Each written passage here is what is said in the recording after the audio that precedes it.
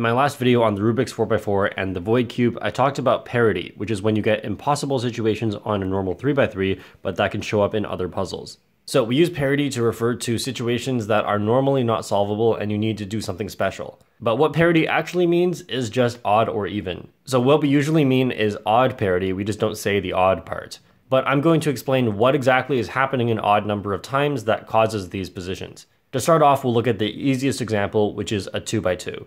On a 2x2, it's absolutely possible to just swap two pieces. And the thing is, it's also possible to swap two pieces on a 3x3. It's just that you can't do this by doing regular turns. The only way this is possible is by taking pieces out and rearranging them. When you can do that, the rules of the game are really different, but when you are only allowed to do outer turns, then you have to look at what exactly does an outer turn do, and why does that only allow for certain situations on different puzzles. So on 2x2, if we look at what an outer turn does, then obviously it moves four pieces around, but let's think about that in terms of swapping pieces. So I know an algorithm that can swap these two, let's do that now, and now I can swap these two as well, and now I'll swap these two, and as you can see, it looks like I've just done one turn, but what I've actually done is three swaps of pieces. So on a 2x2, one turn is really just doing three swaps really quickly. So if I can do three swaps, then I can do six swaps, and 9, and 12, and 15, and so on every position on a 2x2 is a multiple of 3 swaps.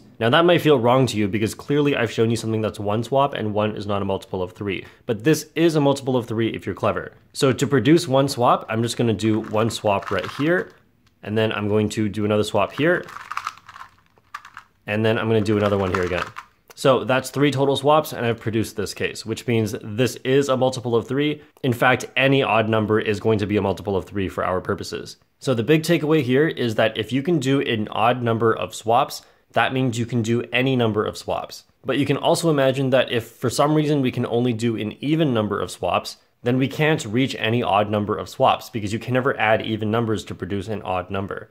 Now for 3x3, again there's only one type of turn you can do and that's an outer turn. So a 3x3 also has four corners, so just like a 2x2, when you do an outer turn, you are doing three swaps of corners. So if it's just like a 2x2, why is it impossible to just swap two pieces?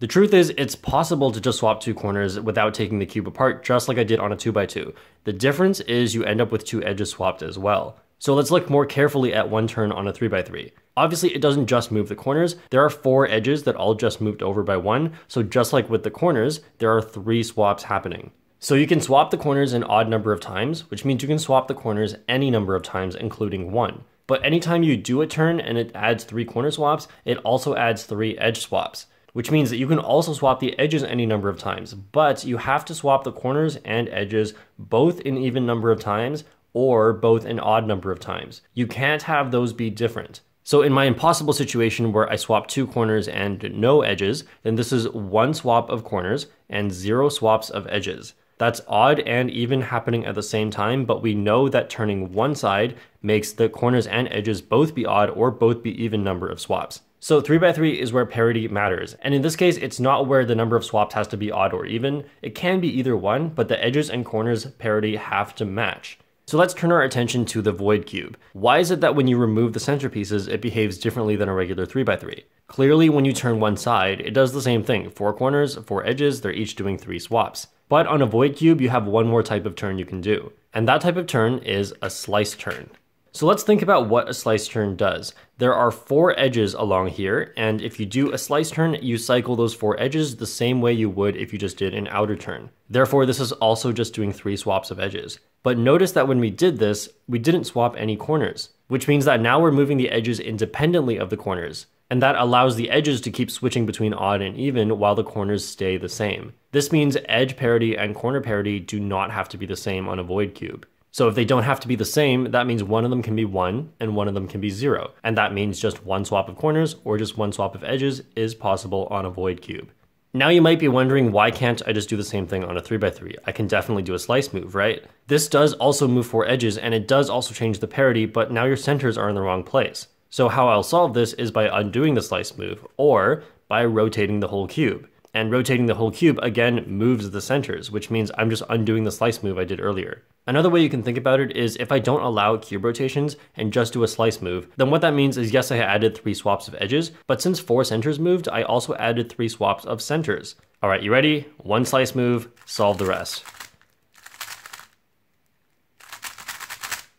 And I've swapped two edges. Now on a 4x4 there are two types of parities. One looks like a 3x3 flipped edge, but this is not actually a flipped edge. If it's not a center edge piece right in the middle, which a 4x4 doesn't have, then these are called wings. So you might be wondering why don't I just call it two edges instead of wings? I often do, but this is literally a different piece type. Here, let me show you. If you take a wing out and you try and flip it and put it back in its spot, it's literally impossible.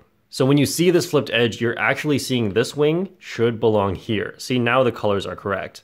So this isn't a flip, this is one swap of wings. And we've been talking about one swaps, so we can apply the same logic here. So you can figure out what the outer turns do if you'd like, but I'm gonna focus on a slice turn, which again moves four wings just like a slice moves four edges on a 3x3. And when you move four of them in a circle, that's three swaps. That means parity for wings can be odd or even, just depending on how many slice moves I decide to do. So in this case, it's odd since I have one swap. But if I add a slice move just by doing this, then now parity is solved as long as I keep doing only an even number of more slice moves. So this is actually the intuitive way to solve 4x4 OLL parity. And here, let me show you the completion. So I'm just gonna solve the rest of the centers without doing another odd number of slice moves.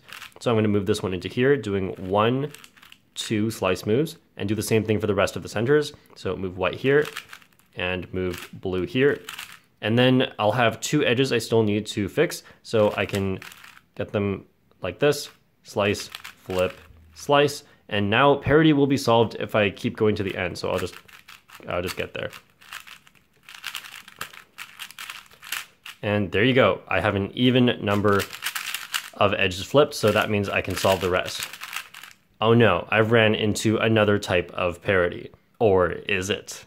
You may have heard this before, but PLL parity is not really parity. It looks like parity on a 3x3 because I have one swap of edges. But if you consider them to be wings, you actually have this one needs to go here and this one needs to go here, and these two also need to swap. So that's two swaps of wings, which is an even parity. That's why people don't call this a real parity, because parity usually refers to odd parity. The problem is if you just do outer turns, you can't separate these wings. So if you do inner turns, there actually is no problem. There's no odd number of slice turns you have to fix. You can do this with an even number of slice turns. You just have to know how to do commutators to move individual wings around. I won't explain that here, but I'll just show you how that could be done. So I'm gonna move this one up here, flip this edge, move it back down, undo that flip, and now I've solved this one and I have three left to go. So here I can flip this one, probably could have canceled moves, slice this, undo the flip, and undo the slice.